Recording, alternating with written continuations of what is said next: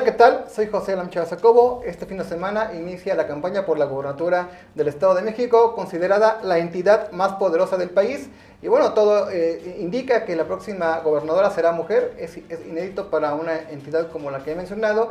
Y voy a iniciar una serie de mesas de análisis con destacados personajes del Estado de México. Habíamos hecho este ejercicio previo a la elección de 2021 y claro, esta es una buena oportunidad también para ir analizando cómo avanzan las campañas electorales.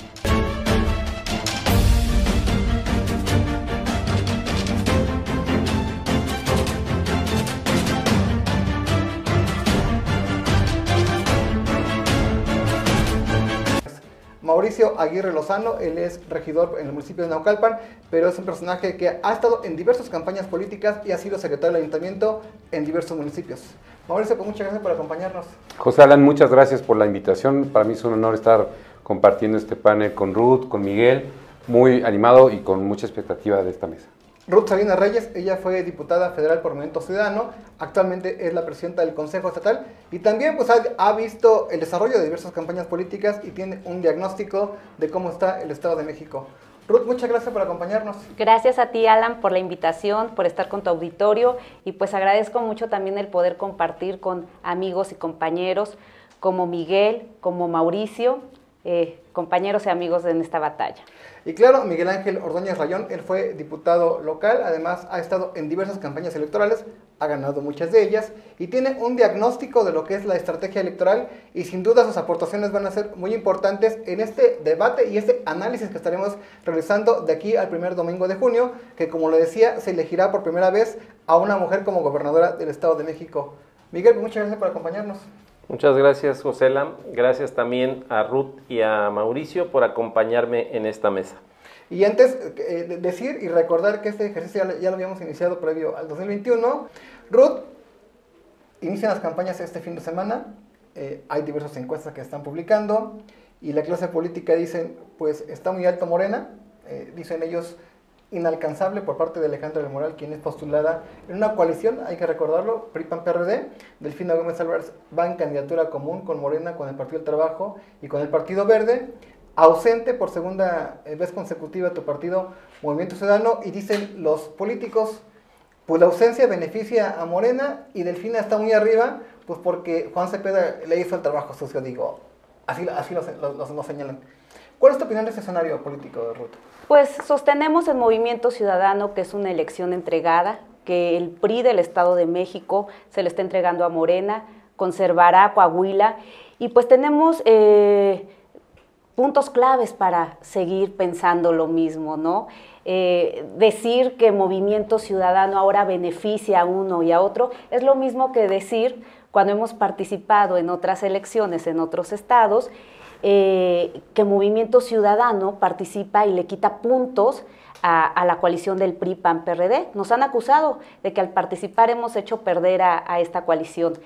Hoy que no estamos este, participando, nos vuelven a decir que favorecemos a uno y a otro, lo cual es una total mentira. Estamos viendo una elección de Estado donde todos los recursos federales van con su candidata y todos los recursos estatales también con la que tiene la coalición de PRI-PAN-PRD.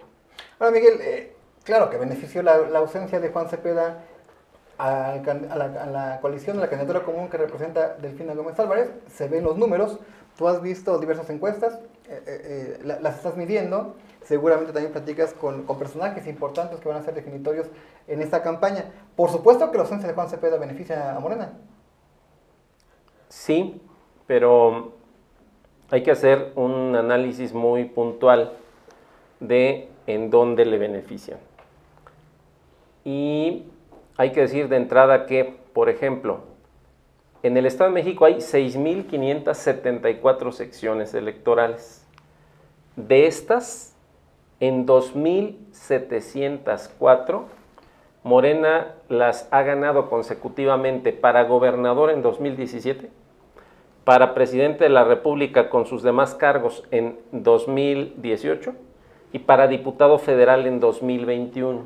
Estas 2.704 secciones pueden considerarse el voto duro de Morena, donde Morena obtiene el 80% de los, del voto duro que ellos ya traen. En una parte de estas secciones, que particularmente están en el oriente del estado, es donde Juan Cepeda les podía quitar el voto, o una parte de ese voto.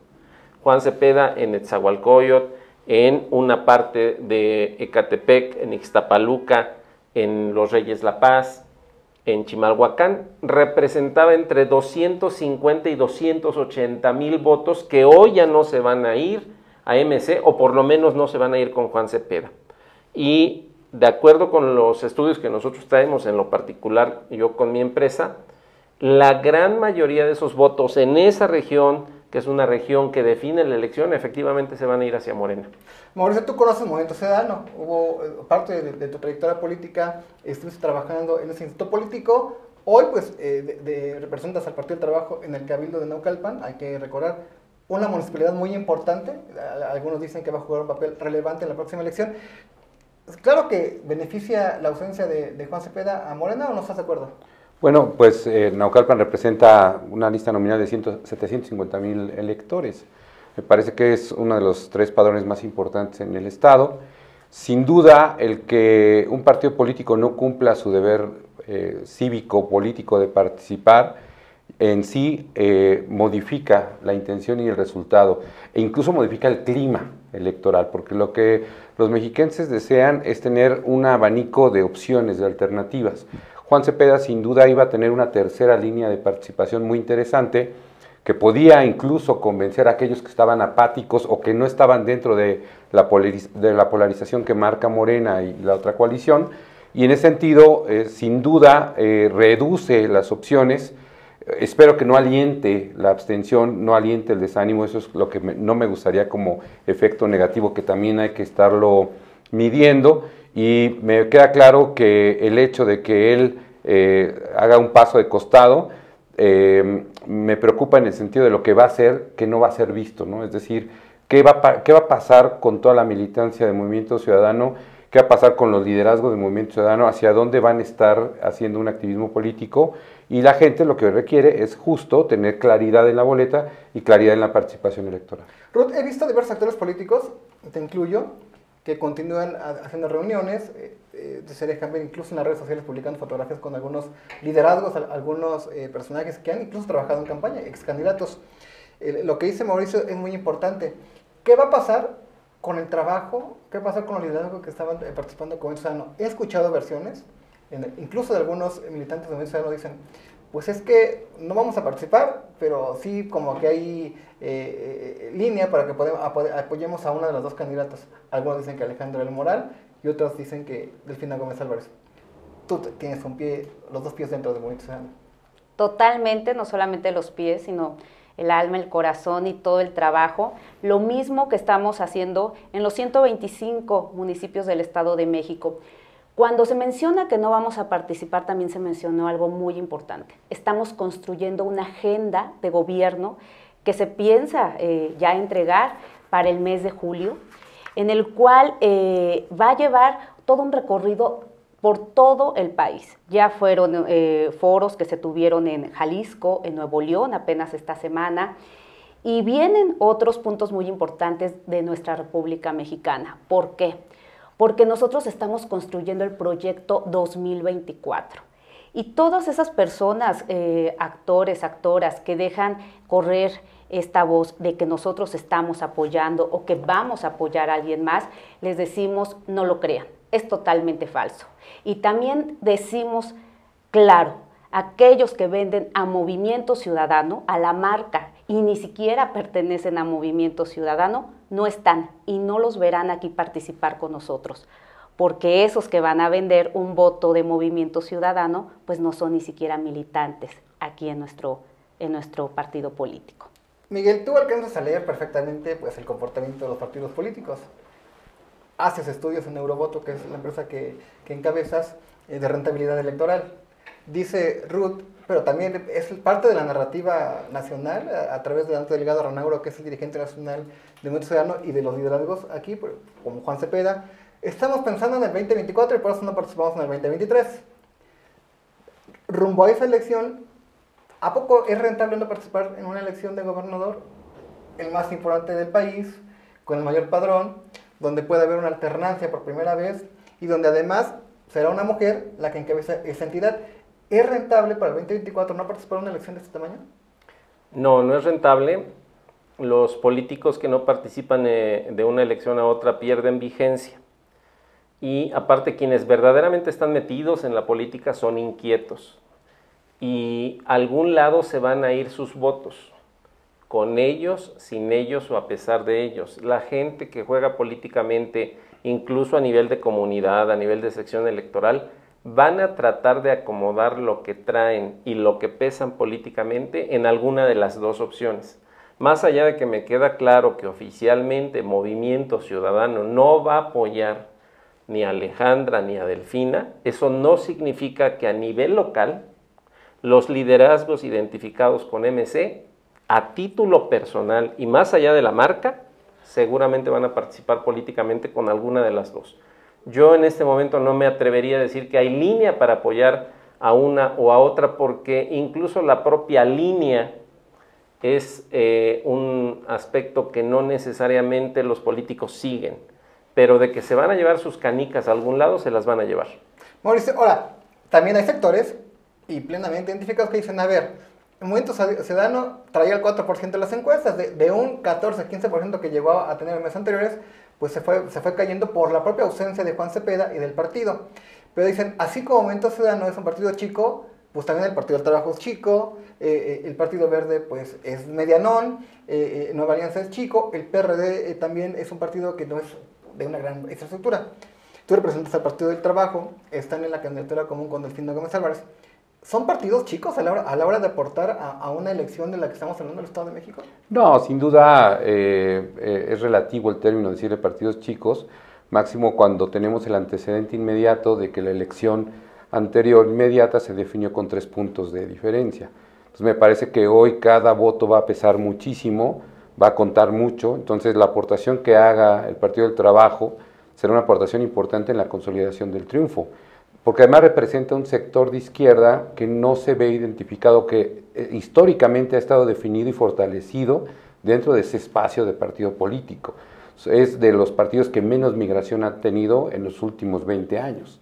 Podemos hablar de panistas en el PRI, podemos hablar de priistas en el, en el PAN o en Morena, podemos hablar de perredistas en el PRI, pero no podemos hablar de eh, militantes o incluso candidatos o excandidatos eh, del Partido del Trabajo en otras expresiones partidistas. Eso ha permitido consolidar un partido que tiene estructuras prácticamente en, más de 119 municipios y que eso ha permitido que pueda estar siendo factor de decisión en un proceso electoral. Ahora, hablemos del género. Estamos diciendo que será la elección de la entidad más poderosa del país. Ya también recordamos que pues es seguro que la próxima gobernadora es mujer. Ruth, tú formaste parte de la legislatura federal que fue impulsora de esta gran reforma electoral que obliga a la paridad en todo, que hubo resistencias incluso en tu partido para que pues, se cumpliera. Llevaste al máximo una, medios de impugnación eh, eh, eh, pidiendo que se, se, te incluyera en, aquella integración de la legislatura en turno. ¿Cómo ves ¿Cuál es tu opinión de Alejandra del Moral, de Delfina Gómez Álvarez? Una de las dos va a ser gobernadora, las encuestas dicen que va a ser Delfina Gómez Álvarez, ¿están anteponiendo el proyecto de Estado al tema de ser mujer? ¿O ¿Es parte de la campaña el, tema de género? Bueno, quisiera aprovechar mi espacio para eh, mencionar eh, dos temas antes de, mujer. Uno es eh, que Movimiento Ciudadano no se le debe de seguir considerando como partido chico. ¿Por qué?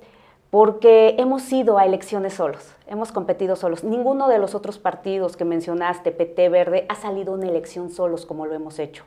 Y hoy por hoy, a nivel nacional, gobernamos Jalisco, gobernamos Nuevo León, dos entidades muy poderosas en nuestro país. Casi alcanzamos Campeche. Por esa razón, considero que somos un partido grande. Por el otro tema, respecto a mujeres, eh, Considero, me considero en verdad una luchadora de, las causas de las mujeres y de nuestros derechos.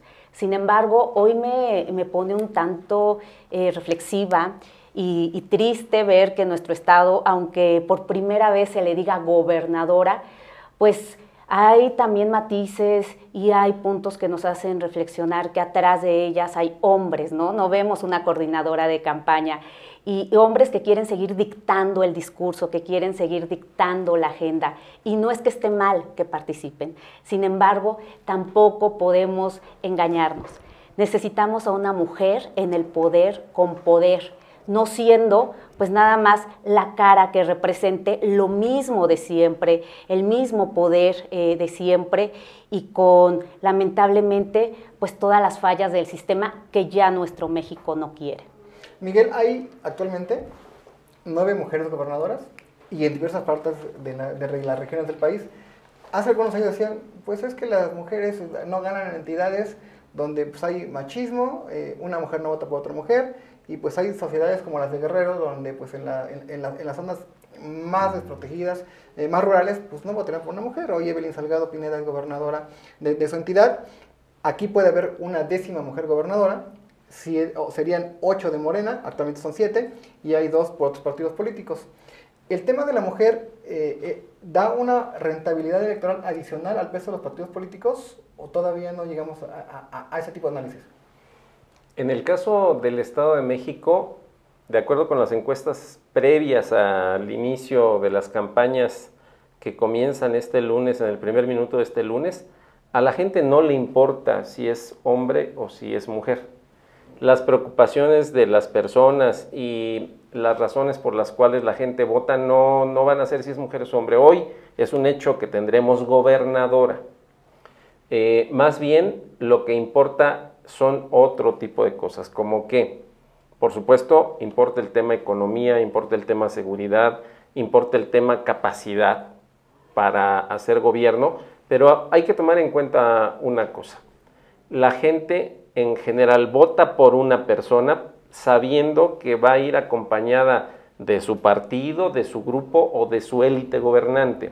En realidad creo que el debate importante no está en si es hombre o si es mujer, sino lo importante es de qué manera va a gobernar y con quiénes va a gobernar.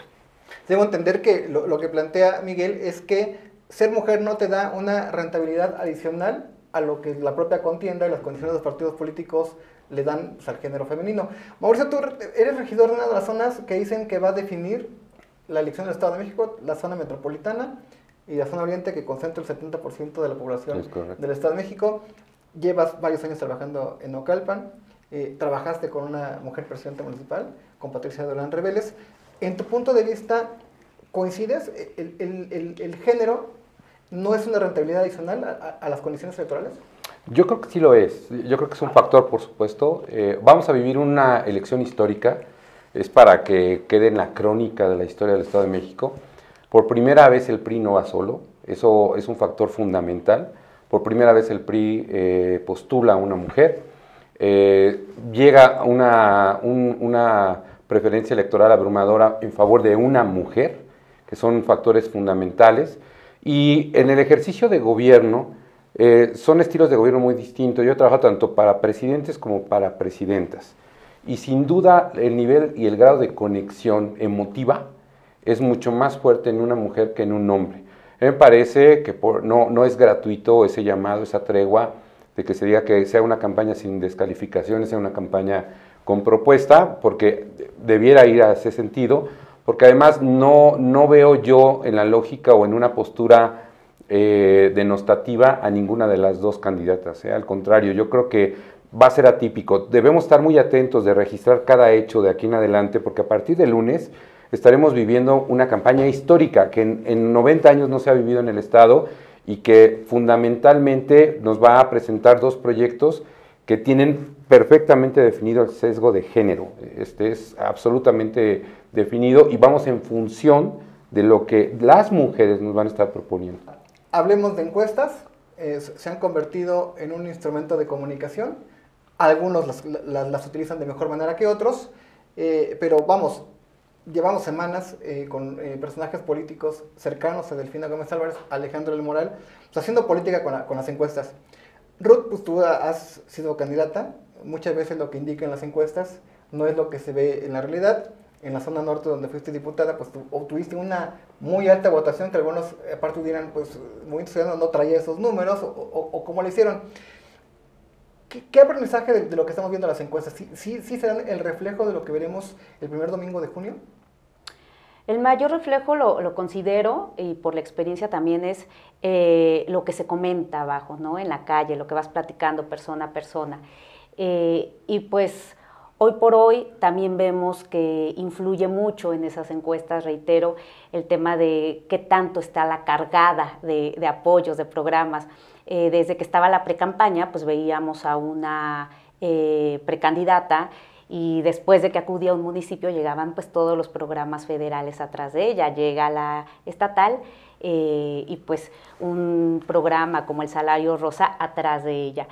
Claro que eso influye en las encuestas, claro que veremos que conforme vayan moviendo estos recursos a favor de una y de otra, van a ir incrementando, pero sin duda, pues en congruencia, como lo hemos dicho con Movimiento Ciudadano, pues eh, Morena lleva una gran delantera por toda la movilización que tiene en sus recursos y también el reflejo de esas encuestas. Miguel, pues tú eres el experto en encuestas, tú las, las lees, las llegas a elaborar, asesoras eh, personajes políticos que toman decisiones en base a, lo que establecen las mediciones. ¿Está definida la elección del Estado de México? Bueno, lo primero es que en esta elección en el Estado de México va a ser hasta el momento, la elección local donde más empresas encuestadoras están teniendo participación. Hasta ahora yo llevo registradas y por supuesto eh, llevo el conteo de las mediciones que han presentado de 22 encuestas eh, con números del Estado de México. Y adicionalmente hay que decir que de las encuestas es importante leer las tendencias, no el número, no la fotografía del momento, sino la tendencia. Y en el caso del Estado de México, no hay hasta ahorita una sola encuesta que marque una, una tendencia diferente, que es la que eh, Morena tiene la amplia ventaja, es el partido puntero, líder en la contienda, y su candidata saldrá como rival a vencer claramente. Pero más allá de eso, también es importante identificar y destacar el nivel de participación electoral y la creación de una percepción de triunfo en los números que arrojan esas encuestas. Mauricio, al interior de la, de la candidatura común de Delfina Gómez Álvarez, te he visto pues, en diversas reuniones con, ella, con, con, la banderada. Representas al PT, pero tienes amigos en, Morena. tienes amigos incluso en otros partidos políticos, hay, hay que decirlo claramente. ¿Está definida la elección? Mira, yo creo que no. Yo creo que no. Eh, este, el Estado de México es un laboratorio electoral muy interesante. Me parece que ninguna estructura se debe confiar. Eh, yo lo llamo como el así como existió el sitio de Cuautla, estamos viviendo el sitio del Estado de México. Es el último bastión que tiene el PRI en su historia, en su historia. Es decir, se están jugando todo. Entonces me parece que que estamos viendo el expertise, lo comentaba muy bien Ruth, eh, hay que ver nada más la alineación que trae la candidata del PRI, eh, cargada mayoritariamente por, por, hombres, lo que te define una postura, todos ellos operadores electorales de primer nivel, hombres que saben perfectamente manejar una sección electoral, y las encuestas no debieran tener un efecto al interior de, los, de las coaliciones de comodidad o de confort o de confianza me parece que, ese efecto debería de eliminarse y debemos prever que, no está definido. ¿no? Es decir, estamos enfrentando una maquinaria que ha sido capaz de gobernar el país y, mal gobernado, pero lo gobernó. Y me parece que en lo que yo voy platicando con diferentes actores políticos eh, es que la situación no está todavía definida. ¿no? Es decir, hay un trabajo, veo un sector completamente abandonado por todos, que son los jóvenes, prácticamente el, a, reserva de la mejor opinión de Miguel, porque ahí, sí tiene datos mucho mejores que los míos, lo que yo estoy comentando es percepción. Yo veo a los jóvenes absolutamente desinteresados del proceso, ¿no? Es decir, sería una pena que, la elección de este año la defina población adulta, sería una pena, porque lo que estamos definiendo es el futuro del Estado de México y veo a los jóvenes desinteresados, apáticos, y me parece que ese es el gran reto de todo, de cualquier candidato, de poder conectar un mensaje y de, poner, y de poder eh, contundentemente definir una elección. Eh, yo creo que en un mes que continuemos con estas mesas estaremos hablando de un escenario completamente diferente y, más apegado a la realidad del día de la elección. Y justamente en ese sentido, eh, propongo que finalicemos esta, esta mesa de arranque eh, rumbo a la elección del primer domingo de junio, eh, expresando qué es lo que esperamos o, o, qué podemos ver en esta campaña que inicia este fin de semana. Ruth, pues espero que haya una agenda de mujeres, ¿no? Pues digo, si hay dos mujeres candidatas, espero que haya propuestas para las mujeres, más allá de decir que pues las vamos a proteger de la violencia. ¿Qué esperarías de este arranque de campaña? El tema de mujeres, también comentar, Delfina y Alejandra son el resultado de una lucha larga, larga de, estos derechos de las mujeres, porque en otro escenario no se hubiera visto que postularan a mujeres candidatas. Considero que influye totalmente porque tenemos partidos, marcas totalmente desgastadas.